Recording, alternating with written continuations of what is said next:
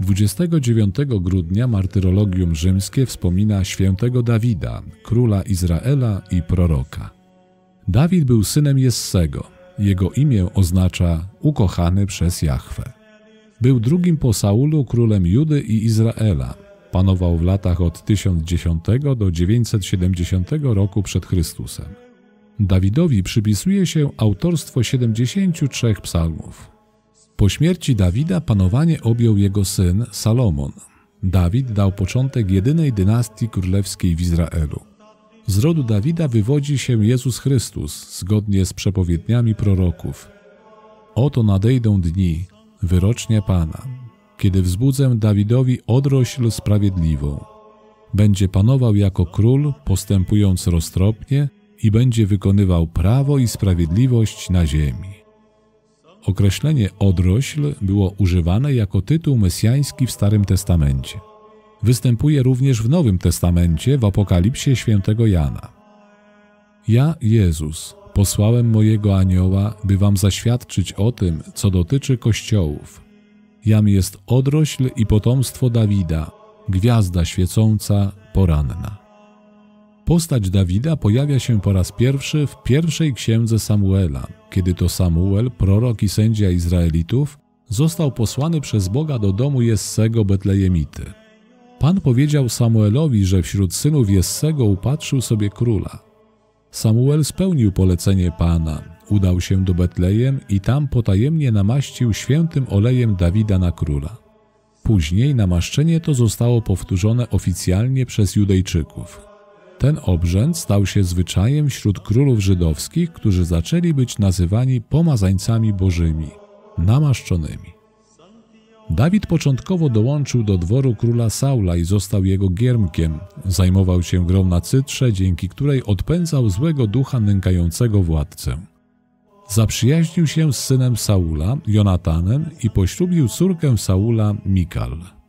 Jednym z najbardziej znanych epizodów z życia Dawida była jego walka z Goliatem. Dawid, jako jedyny w armii Saula, podjął wyzwanie rzucone przez potężnego Filistyna i zwyciężył pojedynek, strzelając z procy kamieniem. To wydarzenie miało wskazywać na wyższość łaski i powołania Bożego Dawida nad silnymi muskułami i ogromnym ciałem Goliata. Saul był zazdrosny o zwycięstwo Dawida nad Goliatem oraz liczne wygrane walki z Filistynami. Doszło do konfliktu i Dawid musiał uciekać przed mściwym królem. Przez długi czas nie mógł osiąść w jednym miejscu, gdyż Saul i jego podwładni czyhali na życie Dawida, a donosiciele informowali, gdzie w danej chwili przebywa. W pierwszej księdze Samuela zostało opisane dziwne spotkanie Dawida i Saula w jaskini Engaddi. Dawid miał wówczas okazję zabić króla, ale nie uczynił tego, okazując Saulowi szacunek jako pomazańcowi Bożemu. Dawid odezwał się do Saula. Dlaczego dajesz posłuch ludzkim plotkom głoszącym, że Dawid szuka Twej zguby? Dzisiaj na własne oczy mogłeś zobaczyć, że Pan wydał Cię w jaskini w moje ręce. Namawiano mnie, abym Cię zabił, a jednak oszczędziłem Cię mówiąc, nie podniosę ręki na mego Pana, bo jest pomazańcem pańskim. Pomimo zapewnień Saula, że nie będzie już ścigał Dawida, ten zdecydował się schronić w ziemi filistyńskiej i został sługą króla Akisza. Dawid chciał walczyć po jego stronie przeciwko Saulowi, ale książęta filistyńscy bali się zdrady Dawida, więc nie przyjęli takiej propozycji. Wojska filistyńskie wyruszyły naprzeciwko armii Saula, który zginął w walce. Został zamordowany także jego syn Jonatan. Dawid mógł w tej sytuacji spokojnie objąć tron. Został jednak wyłącznie królem Judy, gdyż inne pokolenia, które same siebie nazywały Izraelem, wybrały własnego króla, Iżbaala, syna Saula. Dawid założył własną stolicę w Hebronie i królował stamtąd przez siedem lat. Po tym okresie udało mu się na nowo zjednoczyć kraj. Dawid prowadził wiele wojen, brojąc swojego kraju i poszerzając jego granice. Zdobył również Jerozolimę, która była wówczas pod władzą Jebuzytów. Zdobyte miasto ustanowił stolicą, w której wybudował swój pałac oraz wzniósł przybytek, przenośną świątynię dla Arki Przymierza. Dawid miał plany wybudowania stałej świątyni, ale odradził mu to prorok Natan, przekazując słowa Boga: Kiedy wypełnią się Twoje dni i spoczniesz obok swych przodków, wtedy wzbudzę po Tobie potomka Twojego, który wyjdzie z Twoich wnętrzności i utwierdzę jego królestwo. On zbuduje dom imieniu memu, a ja utwierdzę tron jego królestwa na wieki. Ja będę mu ojcem, a on będzie mi synem, a jeżeli zawini, będę go karcił rózgą ludzi i ciosami synów ludzkich. Kościół naucza, że powyższa zapowiedź nie tyle dotyczy panowania Salomona, co przyjścia samego Jezusa Chrystusa, który jest w Nowym Testamencie również nazywany synem Dawida. Dawid dopuścił się cudzołóstwa z Batrzebą, żoną Uriasza Hetyty.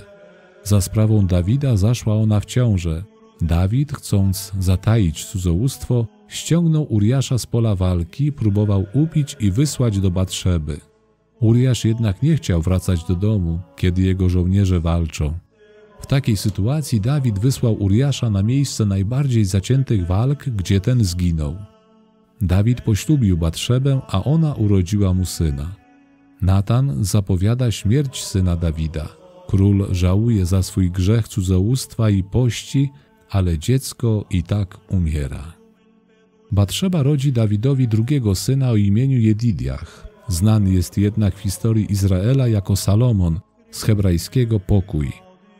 Imię Salomon zostało nadane najprawdopodobniej przy akcie koronacji. W okresie panowania Dawida miały miejsce wydarzenia patologiczne i trudne do opanowania dla króla.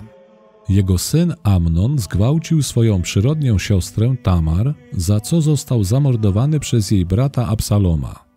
Absalom po morderstwie uciekł z kraju.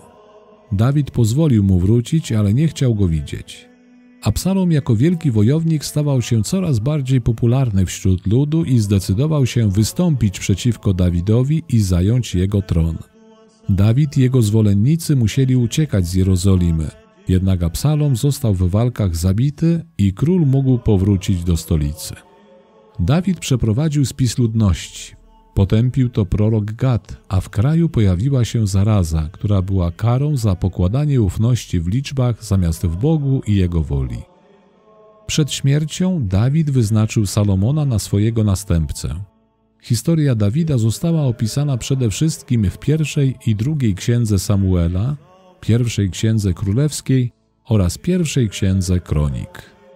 W Biblii występuje określenie miasto Dawida lub miasto Dawidowe.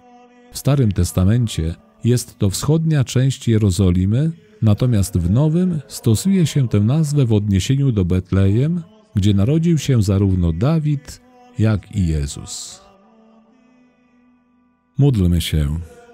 Wszechmogący Boże, niech modlitwa świętych, których dzień obchodzimy, wyjedna nam Twoją pomoc, abyśmy mogli uczestniczyć w ich wieczystej chwale przez naszego Pana Jezusa Chrystusa, Twojego Syna, który z Tobą żyje i króluje w jedności Ducha Świętego, Bóg przez wszystkie wieki wieków.